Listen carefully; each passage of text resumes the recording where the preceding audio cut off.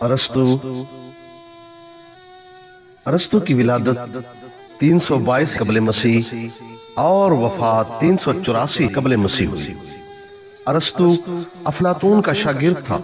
اس نے تقریباً بیس سال تک افلاطون کی قائم کردہ اکیڈمی میں تعلیم حاصل کی۔ ارسطو نے ریاضی، منطق، فلکیات، طبیعیات، کیمیا، حیاتیات اور میکانیات میں کمال حاصل کیا۔ اور ان علوم میں ایسے نظریے اور اصول مرتب کیے جو کئی صدیوں تک اقوام عالم میں رہنما اصولوں کی حیثیت سے جاری رہے۔ افلاطون کی موت کے بعد تین سو بیالیس قبل مسیح میں مقدونیہ کے بادشاہ فلپ نے ارسطو کو نوجوان سکندر کی تدریس کے لیے بلایا۔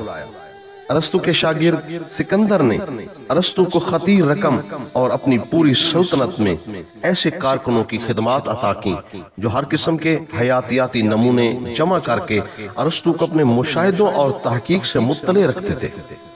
ارسطو نے اس عملی مشاہدے کی بنا پر جانداروں کو ان کی ساخت کی پیچیدگی، نسل افزائی کے طریقوں اور بعض دوسری خصوصیات کی بنا پر مختلف اقسام میں تقسیم کیا۔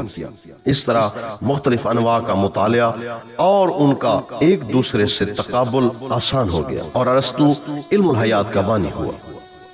ارسطو نے مختلف قسم کے سینکڑوں حیاتیاتی نمونوں کے طور طریقوں کی تفصیل بیان کی اور جانداروں کی جسمانی ساخت کو بہتر طور پر سمجھنے کے لیے چیر پھاڑ تک کی۔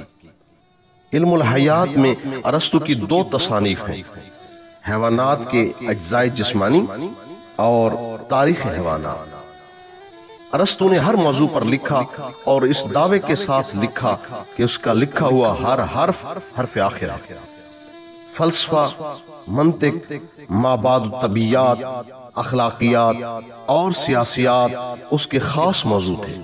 ارسطو استاد کل تھا اور اس کے اقوال و نظریات کے خلاف سوچنا بھی بے دانشی کی دلیل تھا۔